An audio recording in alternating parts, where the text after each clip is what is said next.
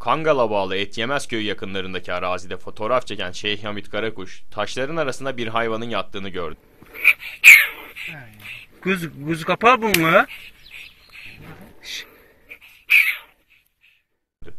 Cep telefonu kamerasıyla görüntüsünü çeken Karakuş, daha sonra hayvanın nesli tükenme tehlikesi altındaki alaca sansar olduğunu belirledi.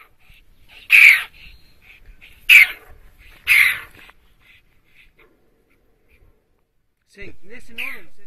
Alaca Sansar bulunduğu yerden uzaklaşarak gözden kayboldu. Alaca Sansar'ın sosyal medyada paylaşılan görüntüsü ilgi gördü. Özel bir hayvan lan bu. Aa, Vallahi özel bir hayvan. Ya buraya gel buraya. Şşş. Buraya gel. Öyle kaçma yok. Gel. Gel. Gel gel gel gel. Nasıl gördüm ben bunu abi ya?